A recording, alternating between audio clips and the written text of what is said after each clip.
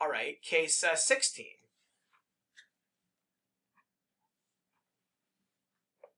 What's this? Clear cell acanthoma. Yeah, this is a beautiful clear cell acanthoma, or as some people like to say, pale cell acanthoma, because the cells are not truly clear. They do have a kind of pale cytoplasm. And in pathology, we call a lot of things clear that are not really clear. You know, clear, like perfectly optically clear, where you only see white empty space. Um, we do see in some things, but we often call things clear cell that are really like pale gray, pale pink.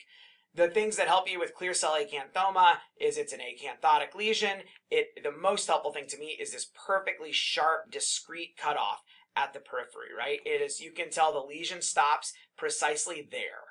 And occasionally you'll see it skip. You can see that normal epidermis and then another little layer, depends kind of how you cut through it.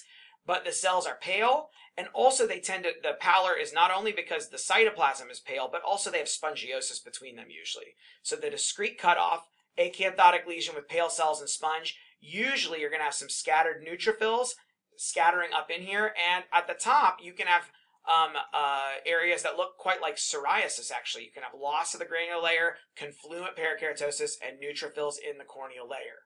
Okay?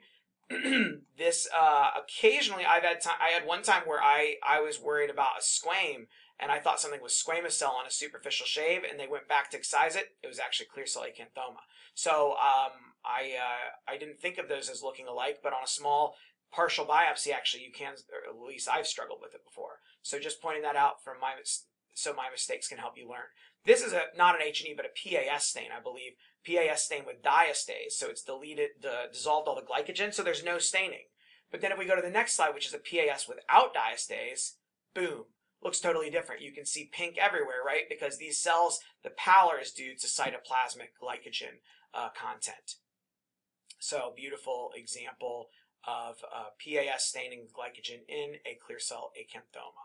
And I feel like I see them most often on the leg, like the shin is the site I probably see them most commonly.